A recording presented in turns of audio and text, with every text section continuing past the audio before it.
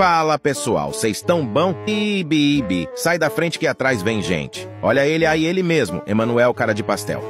Vamos para a nossa receitinha de hoje. Comece forrando tudo com jornal, pois informação é nosso forte. Veja até o arroz está coberto com jornal. Em um penico medieval cheio de diarreia crônica, adicione um pouco de amendoim com casca. Adicione duas talagadas de sangue de furunco. Agora, em um pratinho militar, adicione arroz na velocidade do flash. Coloque uma mãozada de sucrilhos e umas talagadas do molho diarreia. Veja que a clientela não para.